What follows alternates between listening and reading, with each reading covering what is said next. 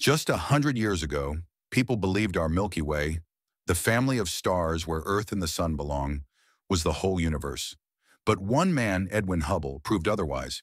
In the 1920s, Hubble used a powerful telescope and studied the Andromeda Nebula. A nebula means a cloud-like object in space. By checking special stars called Cepheid variables, he measured the distance. To his surprise, Andromeda was far outside the Milky Way. It was not a cloud, it was a galaxy. A galaxy is a huge system of billions of stars held together by gravity. This showed the Milky Way is just one among many galaxies. In fact, today we know there are billions. Hubble also found most galaxies are moving away from us.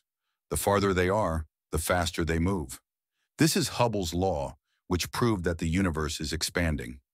Edwin Hubble's discovery changed astronomy forever. That is why the famous Hubble Space Telescope is named after him.